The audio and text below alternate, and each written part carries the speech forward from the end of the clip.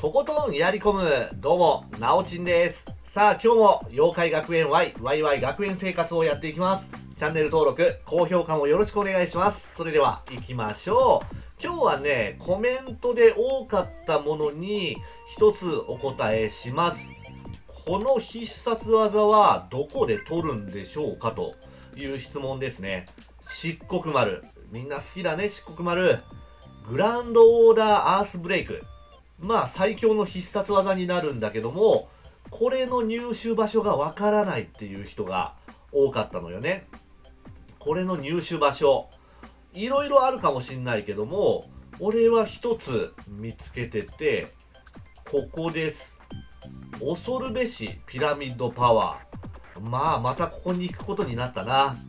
ここの、まあ5区に行くと、600半ばから600後半ぐらいのレベルのやつが出るので、結構おすすめです。強くなるよ、一気に。では、早速行ってみましょうか。では、行きましょう。あのね、出る場所が、ボスじゃないのよ。ボスじゃなくて、雑魚戦で出ます。なので、どの雑魚で出るかっていうのが、まだわかんないんだけども、うーん、今日運よく出てきてくれればいいな。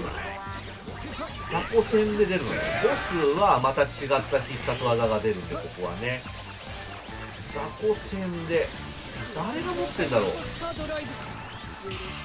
あのね、統計的にはね、あそこら辺でよく出るのよ。この次の回かな？次の階層の、えーと、光オロチがいるところあるでしょ。あそこでね、なんか出る気がする。うん、あそこでよく見る気がするんだな。まあまあ、俺も入手したのまだ3回なので、誰が出すかっていうのはわかんないんですけどね。ちょっと今日はそれが判明すればいいな。うん、まあ3つ持ってればもう十分なんだけどね。あの技強いけども、再使用時間が長いから、あれは2つぐらいでいい気がするね。あれを2つと、あと、おーちょっとブラックアーミーが効くな。あとあの暗い、黒い稲妻か。あれの22ぐらいで構成はいいと思うんだけどね。アースブレイクだけだと、ちょっと再使用時間が重いので、うん、まあ4つ入れてしまえばそうでもないのかな。うん。まあとりあえず俺もあと1個欲しいので、出したいね、今日は。はい、1回終わりです。次2回だね。2階の一番奥に確か光オロチたちがいたもんねあそこ3階の奥だったかな、まあ、とにかく一番奥の方よ。でよく出る気がする、違う違う違う。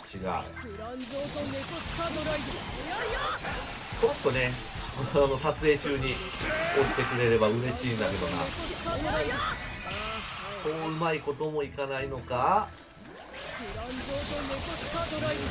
よし。一発でいけた。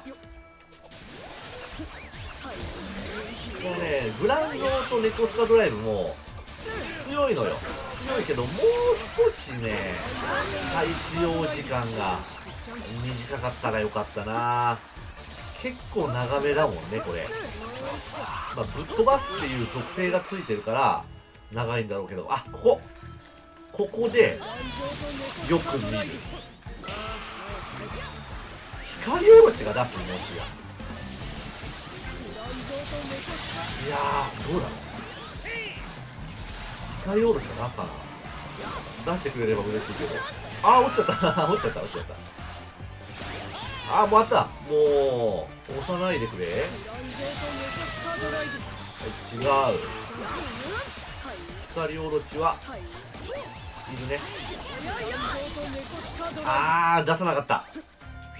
まあまあまだ3回だった気もするから3回にも行ってみよう。うん。結構レアなのかもしれないね。この必殺技。